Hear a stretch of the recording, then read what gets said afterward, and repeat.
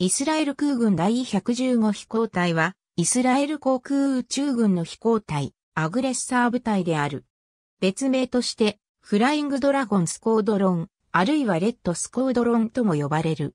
第115飛行隊は、1948年の第一次中東戦争において、18機のデハビランドドラゴンラピードを要する通信、連絡及び系爆撃部隊として編成された。1954年には第109飛行隊に連続する写真偵察を任務とする小部隊として再編成され、ハツェリム空軍基地の第110飛行隊から譲り受けた数機のデハビランドモスキート PR-16 を装備する偵察飛行隊となった。その後、写真偵察型に改造された数機のデハビランドモスキート NF30 同じく写真偵察型に改造された数機のグロスターミーティア T7 が補充され、1956年6月にはテルノフ空軍基地を拠点とする独立した写真偵察飛行部隊となった。第115飛行隊は遠く、イラクやリビア領内まで飛行偵察を行い、情報収集を行った。1956年10月の第二次中東戦争ではエジプト軍に対する情報収集で活躍を見せた。1958年になってデハビランドモスキートの退役に伴い第115飛行隊は解散した。ミーティア T7 は第117飛行隊に移管された。1964年11月になって第115飛行隊は MD450 ウーラガンを装備する攻撃部隊としてテルノフ空軍基地で再編成された。1969年になると A-4 スカイホーク攻撃機を装備する飛行隊として消耗戦争機における軍事作戦に投入され、ヨルダン軍のレーダーサイト攻撃などを行った。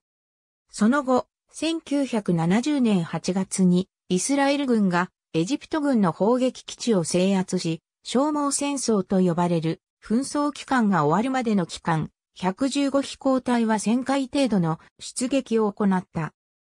1972年には新型の A-4N スカイホーク攻撃機を装備する攻撃飛行隊となり、1973年の第4次中東戦争では、初戦のエジプト、シリア軍による奇襲攻撃や、その後のイスラエル空軍機に対する防空網により、司令官が戦死するなど被害を出しながらも、750回以上出撃した。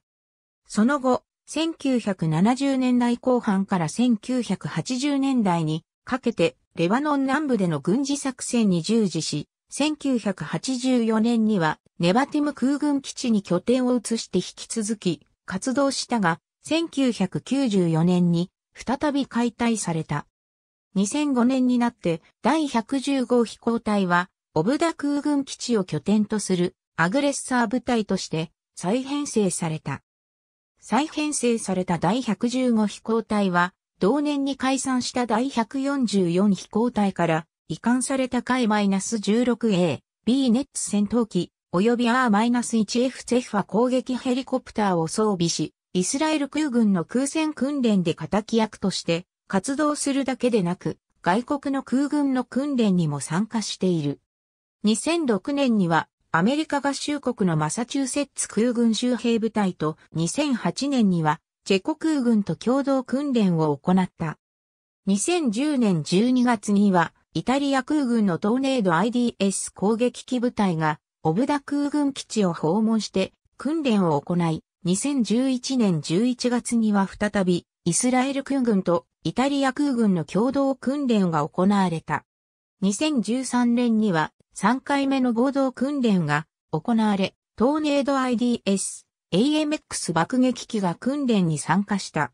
2013年以降、イスラエル空軍において、海 -16A、B の段階的な退役が始まった。第115飛行隊は最後まで、海 -16A の運用を続けた部隊となったが、2016年12月に同機の運用を停止した。この後、第115飛行隊は2017年4月より運用機種の F-16C、D への更新を行っている。この F-16C、D は2017年2月に活動停止した第110飛行隊の運用していた機体である。ありがとうございます。